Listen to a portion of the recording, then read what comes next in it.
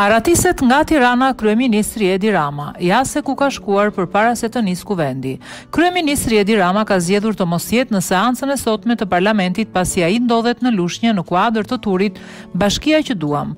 Në momentin që kreu i qeverisë ka hyrë në takim me qytetarët, një grup i vogël të rinjsh demokratë kanë protestuar me thirrjet Rama ik, Rama ik. Gjatë takimit, Rama pritet të flasë për projektet për Lushnjën por dhe për situatën politike pas dorëheqjes së opozitës. Kjo e fundit me të mësuar thirrjen e Kuvendit sot pasdite në orën shtatëmbëdhjetë do të protestojë përpara parlamentit gjatë kohës që do të zhvillohet seanca në të cilën kryeministri